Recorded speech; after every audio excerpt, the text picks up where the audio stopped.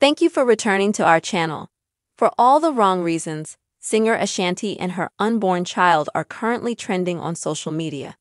Nelly, Ashanti's husband, was reportedly detained on Wednesday for felony drug possession and driving without auto insurance, according to TMZ.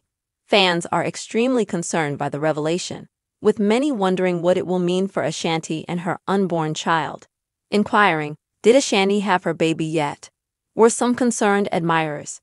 It's time for Nelly to move his country grammar to the country slammer when he gets caught for possessing explosives without a valid license.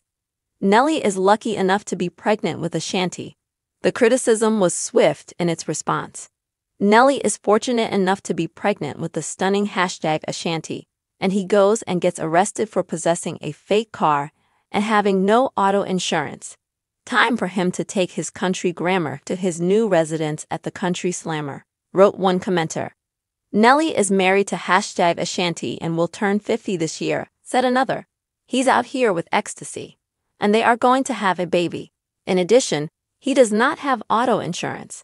Got himself taken into custody. He needs to get his act together because this behavior is inappropriate for someone his age. Nelly, who is married to hashtag Ashanti, will turn 50 this year.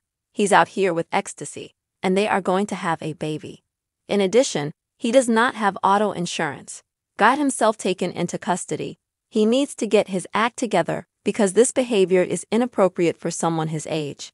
Ashanti and Nelly announced their engagement and impending arrival in April 2024. But soon after, it was revealed that on December 27, 2023, they had discreetly wed in Nelly's hometown of St. Louis County, Missouri.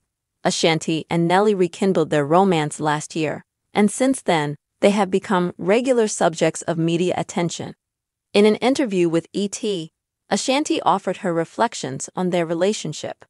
The development has been incredible, you know, on both fronts, she remarked, comparing their current connection to that of 10 years ago. Both of us are in a place where, like we used to fight, get up, shut the door, and not speak for a few days. Rumor has it that Ashanti gave birth to a boy last month, marking the couple's first child. Watch this space for updates.